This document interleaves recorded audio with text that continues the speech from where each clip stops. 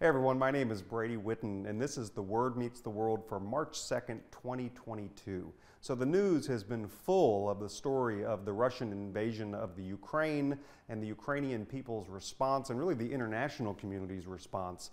And the topic of war uh, is really what the news is all about these days. And this is a topic that we covered back on September the 29th, 2021, when the U.S. began their withdrawal from Afghanistan. So I'm going to uh, invite you to, to revisit that episode of The Word Meets the World, and we're going to continue this conversation next week. But what does the Bible say about war? That's our topic for this week's The Word Meets the World.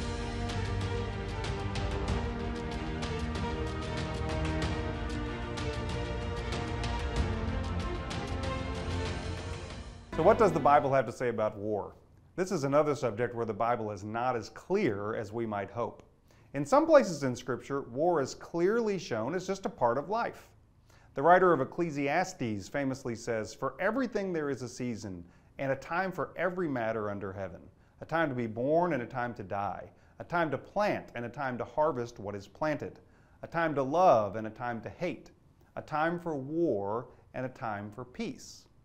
In other passages, God, God's self, seems to be the one initiating and encouraging war.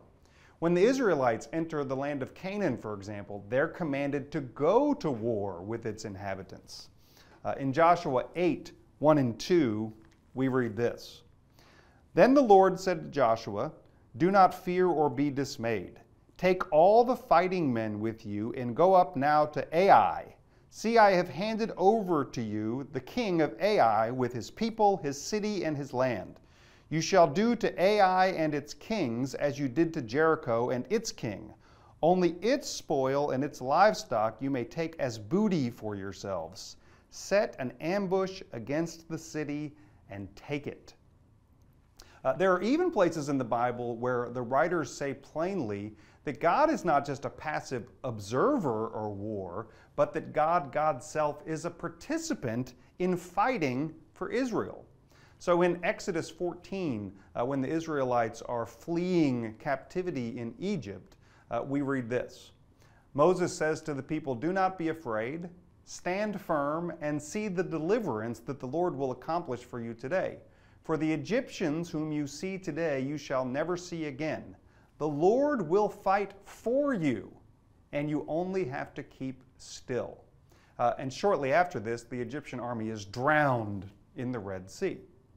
So let's pause here and talk about the Bible in general for a moment. So the Bible is not just one book, but many books written over a period of some 1,500 years. And while it tells the story of the people of Israel, it is not primarily a history book as we understand history. Uh, the Bible is a theological book whose purpose is to reveal truths about God. It's meant to tell us who God is, what God is like, and what's the interaction between people and God like. So, for many modern readers, the images of a warrior like God uh, are difficult to embrace. I struggle with them myself. Uh, many of us, like me, have lived in times of relative peace and have never been in a battle. Uh, many of us, myself included, have never been enslaved or lived under oppressive foreign rule, but that was not the case for ancient Israel. Israel, in many ways, was the punching bag of the ancient world's great empires. Uh, in the Bible alone, they are enslaved by Egypt, they're conquered by the Assyrians, by the Babylonians, then by the Persians, then by the Greeks. Uh, when we get to the New Testament, they're being oppressed by the Romans. And as a small nation with little power, Israel had little chance against these mighty empires. Uh, so, from these experiences, an understanding of God emerged, actually, that I have found uh, quite compelling. And the, and the image is this God is on the side of the underdog. God cares about injustice. God stands up to the mighty, and God is the champion of the oppressed. And so when we read these images uh, of God taking up for Israel, uh, we're not reading the story of a God who's like the neighborhood bully punching people in the nose and taking their lunch money. The God of the Bible is a God who fights for the enslaved, who fights for the poor, who fights for the oppressed, fights for the down and out. And again, I got to tell you, I find that image of God very compelling. And that's what the scriptures are trying to communicate with these warlike images of God. So, at the same time as these warlike images of God, another vision emerges from Israel's wrestling. And uh, this vision comes primarily from the prophets. And it's a vision of a time where there would be war no more. Uh, so, the prophet Micah uh, in the fourth chapter writes this God will judge between many people and shall arbitrate between strong nations far away. They shall beat their swords into plowshares and their spears into pruning hooks. Nation shall not lift up sword against nation, and neither shall they learn war anymore. Uh, so, for Christians, the way that Jesus lived his life both affirmed and foreshadowed this way of peace that the prophets talked about. He taught us to pray for our enemies and to turn the other cheek. And despite what many expected from the Jewish Messiah, he did not fight flesh and blood enemies with sword and spear, but conquered the greatest of all enemies with sacrificial love. Uh, the New Testament further affirms the prophet's vision of a time of no more war. The Apostle Paul calls God the God of peace and encourages Christians to live in peace with each other and with the whole world. And the book of Revelation, which is the very last book in the New Testament, the last book in the Christian Bible, depicts uh, what's known as the last battle at a place called Armageddon. And I got to tell you, this image too is one that has really started to capture my imagination. Uh, the idea that there will be a last battle.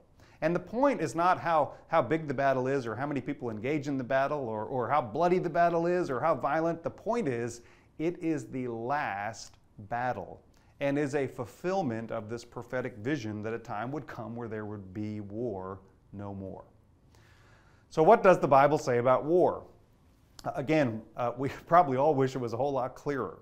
There are places where the Bible presents war as a tool of God, and there are places where the Bible envisions God's long term plan as a time of eternal peace.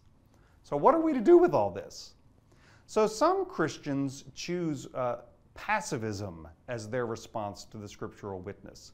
Uh, they believe that the way that God's kingdom comes is by us doing our part to enact God's perfect peace in the world today. Christian pacifism affirms that any form of violence is incompatible with the Christian faith. Uh, and there are Christian sects like the Quakers, the Mennonites, and the Amish who hold to this view. Martin Luther King Jr. was a Christian pacifist and lived out this ideal through his practice of nonviolent resistance. So, other Christians believe in what's called just war theory. Just war theory asserts that while war is not an ultimate part of God's plan, that because we live in a fallen world, sometimes war is necessary. Uh, John Wesley, who was the founder of the Methodist movement, of which I'm a part, uh, was a just war theorist. He believed there were times where war might need to be used as an instrument of national policy, especially in self defense or to preserve the greater good. Think about it this way Would it be loving and moral for someone to sit by and watch someone stronger hurt or kill someone weaker? Uh, would it have been moral for the U.S. to do nothing in the face of the evils of Nazi Germany, for example? When do we intercede? When do we do nothing? Uh, these are the questions of, of the just war theory. But from pacifists and just war theorists alike, one thing is clear. Christians cannot and should never celebrate war or violence. Although John Wesley was not a pacifist, he also said, People in general can never be considered reasonable creatures until they know not war anymore. So long as this monster stalks uncontrolled, where is reason? Where is virtue? Where is humanity? I also want to add that regardless of our views on war and warfare, the men and women who serve our country and literally put their lives on the line deserve nothing but our support and our respect. So, what do you think? What do you think about all this? I want to leave you with a few discussion questions. And again, if you're with a group, uh, I would encourage you to talk about these questions and talk about this topic. Uh, if you're viewing by yourself, these are just things I invite you to think of on your own. I also, before we put those questions up, want to encourage you to like and share this video if you found it helpful, and like and subscribe and follow First Methodist on social media. See you next time, everyone.